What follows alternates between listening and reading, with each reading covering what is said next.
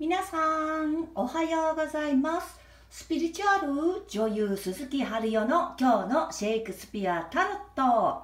なんと今日はじゃーん第10回目でございます。いつも応援ありがとうございます。はいというわけでですね今日はオールスター。俳優の皆さんカードの皆さん全員に揃っていただきました。こちらマルセイユカード22枚勢ぞろいでございます、ずっと見ていられる。これタロットのマンダラみたいになってますよね。うん。タロットって一枚一枚のカードも大きな意味があるんですけれども相互にですねお互いに関係し合っているんですよね。なので今日はスペシャル版と称しましてちょっとタロット基礎知識なんていう感じで、えー、お送りしたいと思います、えー、タロットまずはですねこちら一番始まりのタロット。はい番号が振られていないこちら愚者、えー、トランプでは後にこちらがねジョーカーになりますね。この愚者から始まって12345678910はい、1112131415161718192021こちらの世界で、えー、一回りという、えー、ことになっているんですね。はい。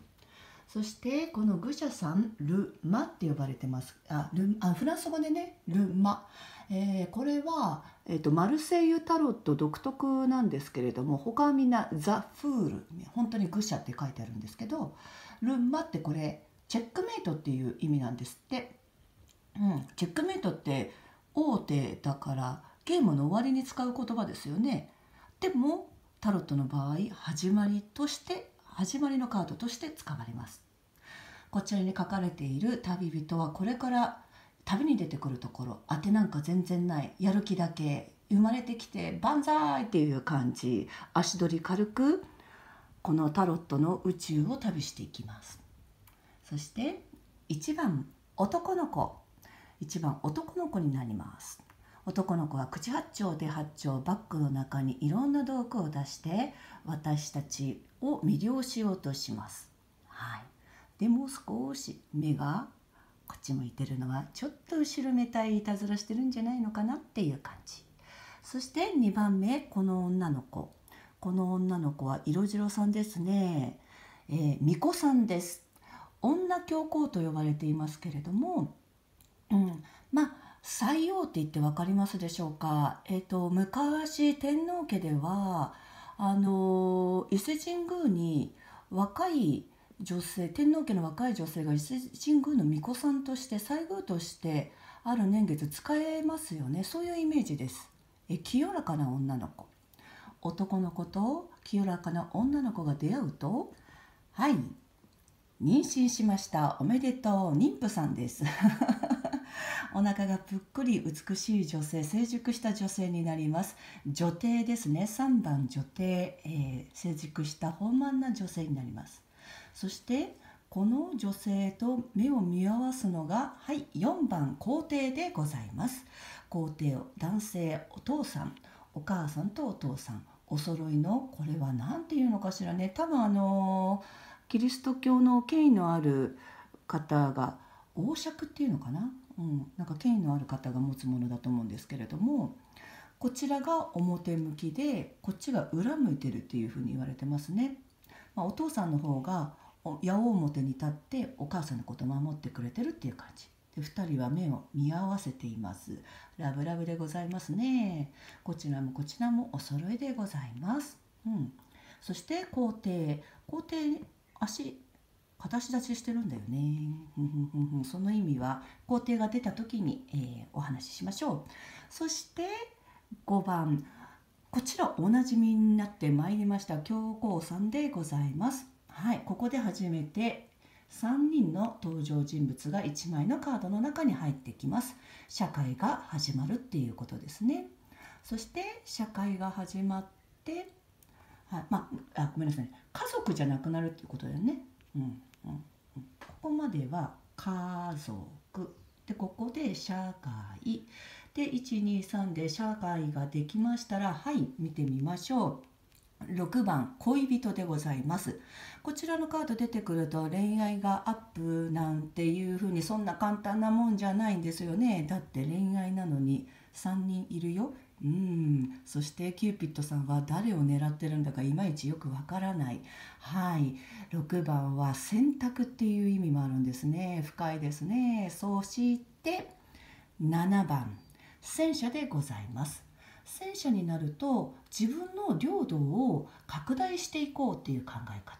うん、ここで、えーと、他人に出会って恋をして選択をしてさあ自分の道が決まった自分はこっちの方向だ領土をどんどん開拓していこうっていうね、まあ、軍人さんみたいなイメージエネルギーが一番高いよね。はいそしてそんな戦車の時代が終わったらはいすんと冷静に裁判官でございます。ラジャスティス正義でございますね。裁判官、えーと、人と人との間柄争い事を調停したりそういう時には、えーと、若い人でもおじいさんでもなくてどっちかっつったらあの中年期のそういう人生のそういう中年期っていうかな、うん、あのまあ緑の時期ですよね。うん。そういう戦車のじあ戦車の時期が終わった後秋の借り入れっていうようなイメージでしょうか、え円熟さが増していきます。そしてはい9番。もう本当におなじみの忍者さんハーミットでございます。えー、こちらおじいさんでございますね。少し足もよぼよぼして杖ついて、えー、過去を振り返ってみてなんていうことをしていると後ろに迫っているのははいあの世行きはい。一回ここで人の一生は1から10の間で終わると言われていますえじゃあ本当に終わっちゃうの？いやいやタロットはそこからまだ11から12があるんですね。ここを今さらっと見てしまいましたけれどここからはもうキャラクターの話ではなくて概念の話になってきます。力であるとか吊るされた男であるとかもう名前がなくなっちゃったりだとか節制だとか、うん、そんな風に物語はまだまだ続いていって最後世界になってはいまた元通り生まれ変わってまた12345678こんな風にタロットは曼荼羅のようにつながっています。そして縦の関係でも意味があるんですよ。こちらね1番。1番は男の子。11番になると女の子。1番はいろんな道具を持って、えーと、人々を魅了しようとしている。女の子。11番になると素手素手で素手一本でライオンを組み伏せることができてしまう。はい2番。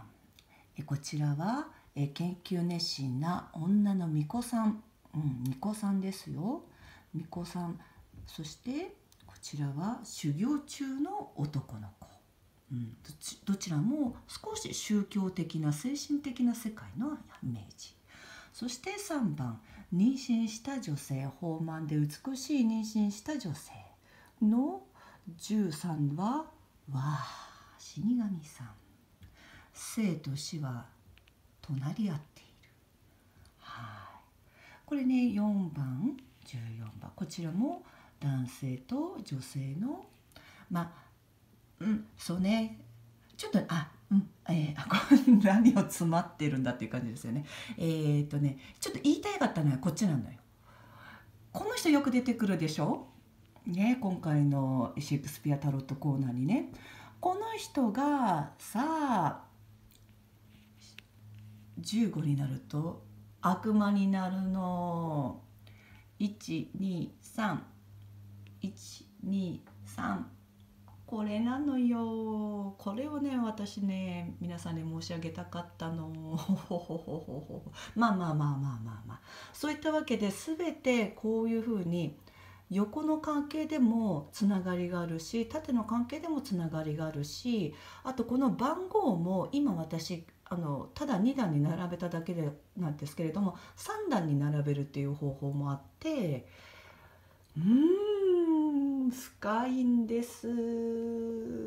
ということでえっ、ー、とほんの触りでございましたがマルセイユタロット、えー、そうですねこちら第前編としましょうまたあのご好評でございましたらあ後編こちらのね下の世界もねお話ししていこうかなと思います。はい。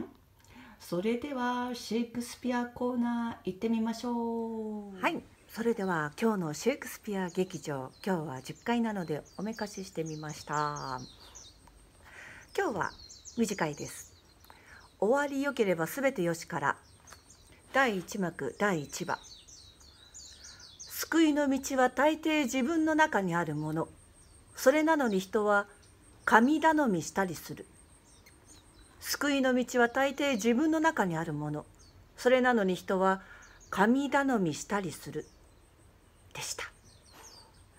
では良い一日をお過ごしください。この後も雲の上世界演劇祭いろんなコンテンツ覗いていってくださいね。ありがとうございました。鈴木春代でした。